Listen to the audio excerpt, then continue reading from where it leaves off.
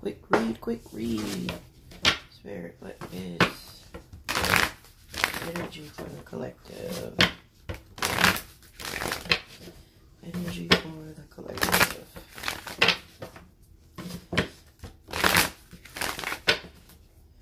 Energy for the collective, please. Energy for the collective.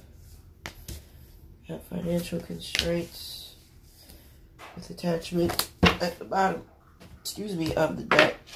I feel like there's some type of setback in your finances.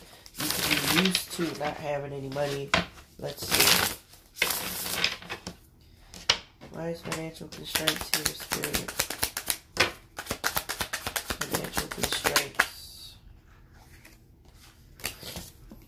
Yeah, Page of Wands. You may be getting some type of message in regards to this.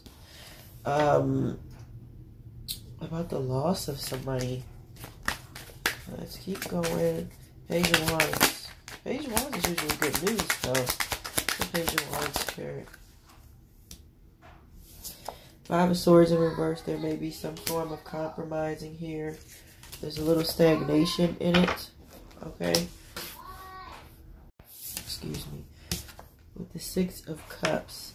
So you may be thinking about some um, something that you could have uh, compromised on that's causing stagnation right about now. Six of Cups. This could also be about child support as well. Ace of Cups. But something good is coming in. So maybe your fi your financial constraints are about to change. You're used to being to not have anything, but that might change. Ace of Cups. Judgment. Yeah, universe may be calling judgment on this, on your um, financial loss and instability, and that's yeah, they're gonna change it. They're definitely gonna change it for you.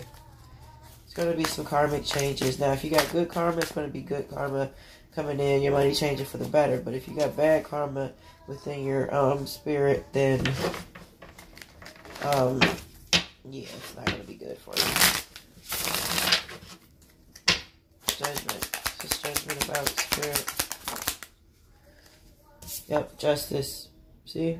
You're getting justice in whatever happened with your money. Justice. Wheel of Fortune. See again. Karmically, karmic justice here is coming in for you. So, like I said, if you um been having financial constraints and issues like that, um, it's going to change for however, whatever has been going on with it.